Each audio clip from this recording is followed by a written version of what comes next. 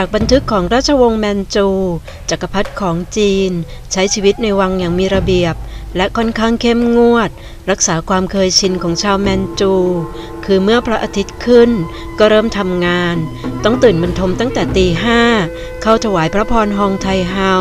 เพื่อแสดงความกตัญญู ฝึกสมาธิ อ่านหนังสือ 7โมงเช้าถึง9โมงครึ่งสวยพระกยาหารเช้า9โมงครึ่งถึง 11 โมง เสด็จออกว่าราชการ ประชุมขุนนางเพื่อรับฟังความคิดเห็น และแก้ไขปัญหาบ้านเมือง 11 โมงถึงบ่าย2โมงครึ่งเป็นเวลาพักผ่อนกลางวันสวยพระกยาหาร บ่าย2โมงครึ่งถึง5โมงเย็น อ่านหนังสือ แต่งกรอน เขียนภาพ ชมมหรสพ5โมงเย็นถึง3ทุ่ม สวยพระกยาหารว่าง หลังจากนั้นก็สวดมนต์แล้วเข้าบรรทม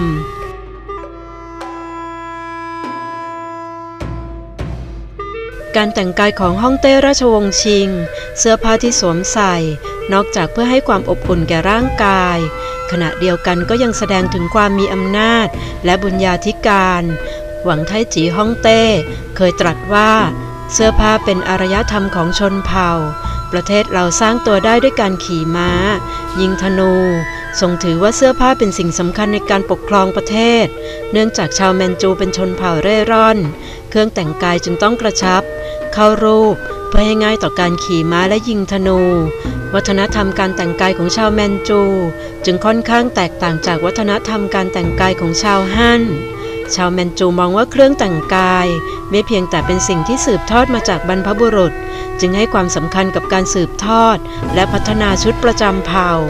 นอกจากนั้นเครื่องแต่งกายสมัยชิง ยังเป็นหนึ่งในบรรดาเครื่องแต่งกายที่สลับซับซ้อน และกระจุกกระจิกมากที่สุดในประวัติศาสตร์จีน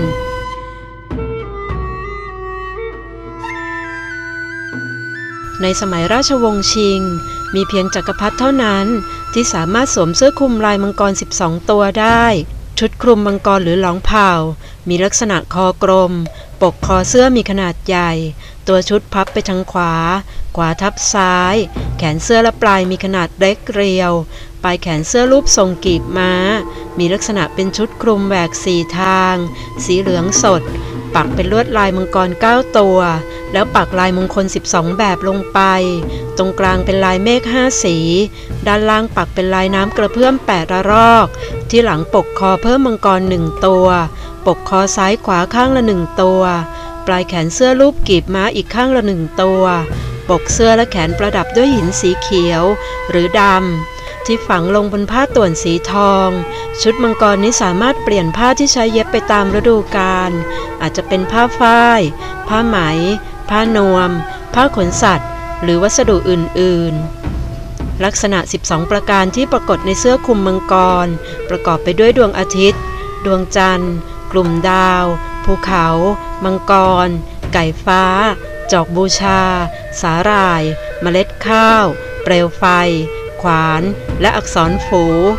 พระมาลาขององค์จักรพรรดิแบ่งเป็นสองประเภท คือเหมันมาลา หมวกสำหรับฤดูหนาว และคิมหันมาลา หมวกสำหรับฤดูร้อน ตัวเหมันมาลามีลักษณะเป็นโดมลาดโค้งลงมา บริเวณขอบยกขึ้นสูง และบุด้วยขนมิง หรือขนจิ้งจอกสีดำ บนยอดประกอบเสามังกรสุวรรณเมคาฝังมุก เสาทองคำแบ่งเป็นสามชั้น ชั้นล่างเป็นส่วนฐาน พาดลายมังกรสี่ตัว ประกอบด้วยไข่มุกสี่เม็ดชั้นที่สองและสามประกอบด้วยมังกรสี่ตัวเช่นกัน แต่ละชั้นมีไข่มุกสี่เม็ดหันไปทั้งสี่ทิศเสามังกรมีไข่มุกรวมทั้งสิ้น 15 เม็ดเรือนยอดมีไข่มุกเม็ดใหญ่ 1 เม็ด ส่วนคิมหันมาลา มีลักษณะเป็นทรงกรวยกลม ด้านล่างเป็นหมวกปากบาน โดยสารขึ้นจากหญ้าหยก เถาวันเส้นเล็ก หรือไม้ไผ่ ด้านนอกสารเป็นตะข่าย ใช้ผ้าหงซา ผ้าบางสีแดง หรือดิ้นทองถักบนผ้าสีแดงบุไว้ด้านใน ขอบปากหมวกทั้งสองชั้นคลิปด้วยทอง ด้านหน้าประดับด้วยพระปฏิมาทองคำโดยรอบองค์พระฝังมุกทั้งสิ้น 15 เม็ดด้านหลังประดับมุกอีก 7 เม็ด บนยอดประดับด้วยเสามังกรสุวรรณเมคาฝังมุก เหมือนกับเหมันมาลา ในพระราชวังจะมีผู้ที่รับผิดชอบเรื่องการแต่งกายของจักรพรรดิทุกวันจะต้องมีขันทีจำนวนหนึ่ง รับผิดชอบเรื่องฉลองพระองค์ งานพระราชพิธีใหญ่ๆ เช่นบวงสรวง หรือเส้นไหว้ ฉลองพระองค์จะต้องเป็นสีเข้ม วันมงคลต้องสวมชุดโบราณ เรียกว่าฉลองมังกร ในวันปกติสวมเสื้อรำรองเรียกว่าชุดธรรมดา เมื่อเสด็จประพาสก็มีชุดสำหรับล่าสัตว์ พระมาลากับชุดจะต้องเข้ากัน นอกจากนี้ยังต้องทำบันทึกการสวมใส่อย่างละเอียด ว่าฮ่องเต้สวมชุดอะไร เปลี่ยนเวลาไหน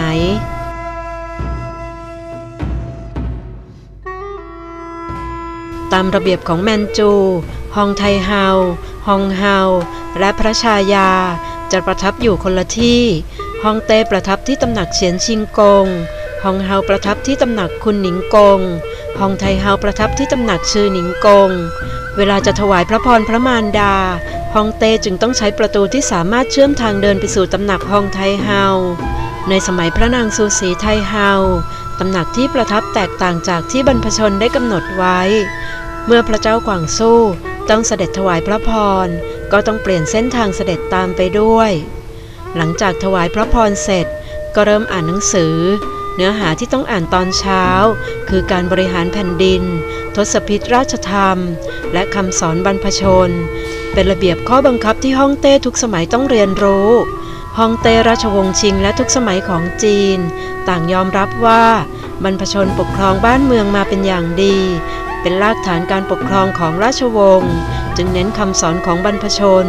ควบคู่กับการปฏิบัติจริง มาเป็นบรรทัดฐาน ดังนั้นฮ่องเต้แมนจูทุกสมัย จึงขยันศึกษาคำสอนของบรรพชนโดยไม่ขาดคำสอนของบรรพชน จะแบ่งเป็นหมวดหมู่ทำการเรียบเรียงใหม่ รวบรวมกลยุทธ์การปกครองบ้านเมือง ทั้งวัฒนธรรม และเศรษฐกิจอย่างมีระบบ บันทึกการปกครองฮ่องเต้ราชวงศ์ชิง จะเก็บอยู่ในแฟ้มแมนจู ทุกวันจะมีขันทีนำหนังสือมาวางไว้ แล้วห่อเก็บในผ้าแพรอย่างดี เล่มต่อเล่ม รุ่งเช้าก็ถวายฮ่องเต้ เพื่อให้ได้อ่านในช่วงที่พระอารมณ์ยังสดชื่น หลังจากนั้นจะสรุปและทำการบันทึก พระเจ้าเฉียนหลงเคยตรัสว่า พระองค์ต้องอ่านข้อปฏิบัติของฮ่องเต้ทุกสมัยบรรพชนสร้างชาติ จะลืมไม่ได้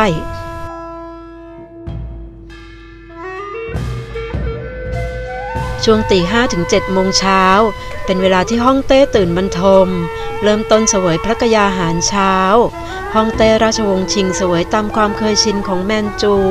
พระกยาหารสำหรับฮ่องเต้ราชวงศ์ชิง ใช้ศัพท์ว่าซ่านในแต่ละวันฮ่องเต้จะเสวยพระกยาหารหลักสองมือ้อ คือมื้อเช้าก่อน 6 โมง และมื้อต่อมาคือหลังเที่ยงหรือบ่ายสอง และอาหารว่างอีกสองมื้อ นอกเหนือจากมื้อหลัก เวลาเสวยยืดหยุ่นได้ตามรับสั่ง ถ้าเป็นฤดูร้อน หรือใบไม้ผลิเลื่อนขึ้นหนึ่งชั่วโมง นอกจากการเสวยประจำวันแล้ว บางครั้งอาจมีงานพระราชทานเลี้ยง ถ้าเป็นอาหารประจำวัน ต้นเครื่องจะเป็นผู้จัดถวาย แต่ถ้ามีงานพิเศษที่เป็นทางการ จะเป็นหน้าที่ของเจ้ากรมพิธีการทูต ภายใต้การกำกับของครัวหลวง ในครัวแบ่งเป็นแผนกต่างๆ เช่นแผนกเครื่องใช้ เครื่องปรุง ของเจ ของข้าว ของหวาน ของหลัก ของว่าง เครื่องดื่ม พระกยาหารสมัยราชวงศ์ชิง ปรุงโดยอี้ซ่านฝาง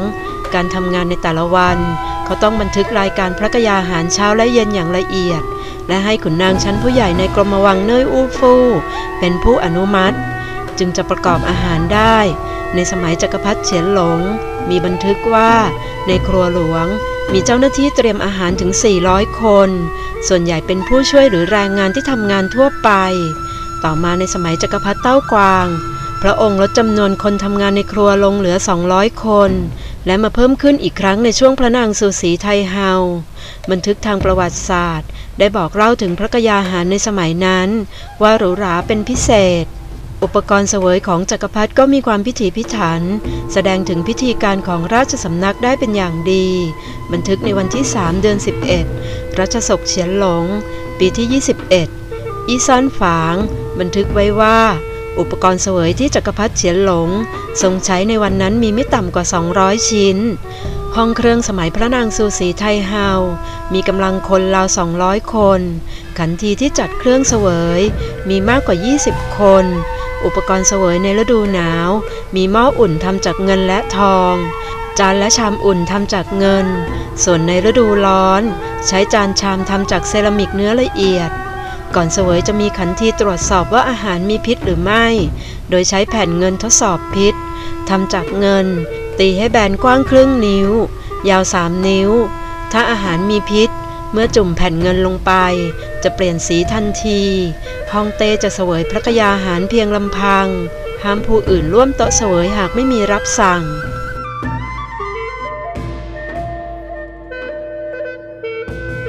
9โมงครึ่งถึง 11 โมง หลังจากเสวยพระกยาหารเช้า เป็นเวลาที่ห้องเต้ทรงปฏิบัติราชกิจ เรียกประชุมขุนนาง พื่อถวายรายงานผลการทำงาน หาลือปัญหาที่ต้องแก้ไข หรือข้อเสนอในการบริหารบ้านเมือง การเรียกประชุมขุนนางในทุกเช้านั้น ขุนนางชั้นผู้ใหญ่ จะเป็นผู้ถวายรายงานสถานการณ์บ้านเมือง ถกปัญหาและหาวิธีแก้ไขร่วมกัน หากทรงทราบเรื่องราวหรือปัญหาที่เกิดขึ้น ก็จะมีราชองค์การไปถึงหน่วยงานที่เกี่ยวข้อง พระเจ้าคังซี พระเจ้าหยงเจิ้นและพระเจ้าเฉียนหลง ทั้งสามพระองค์ เป็นฮ่องเต้ที่มีพระปีชาสามารถ ขยันขันแข็ง ในแต่ละวันต้องอ่านหนังสือทูลเกล้ามากมาย พระเจ้าเฉียนหลงจะทรงอ่านหนังสือทูลเกล้าอย่างละเอียดจนดึกดื่น ไม่ตกหล่นแม้แต่อักษรเดียว ถ้าเห็นตรงไหนผิดจะรับสั่งให้แก้ไขทันที ในรัชสมัยพระเจ้าคังซีทรงตั้งกฎระเบียบไว้ว่า การเสด็จออกว่าราชการตอนเช้านั้น หากเป็นในฤดูใบไม้ผลิ และฤดูร้อนจะมีตอน6โมงเช้า ส่วนช่วงฤดูใบไม้ร่วง และฤดูหนาวจะเป็น7โมงเช้า ในสมัยพระเจ้าคังซีปีที่ 12 นโยบายปราบกบฏอูสานกุ้ย หรือสมัยพระเจ้าคังซีปีที่ 24 ถึง 25 จีนถูกทหารคอสแซกของรัสเซียรุกราน พระองค์ตัดสินใจจากการรับฟังความคิดเห็นของเหล่าขุนนาง หลังจากยุคพระเจ้าเจียชิงเป็นต้นมา ฮองเต้เริ่มไม่ใส่ใจราชกิจ จนมาถึงยุคพระเจ้าเสียนเฟิง การรับฟังความคิดเห็นของขุนนางได้ถูกยกเลิก ในสมัยพระเจ้าถงจื้อและพระเจ้ากวางสู้ทั้งสองพระองค์ครองราชเมื่ออายุยังน้อย การบริหารราชกิจจึงต้องมีผู้สำเร็จราชการแทน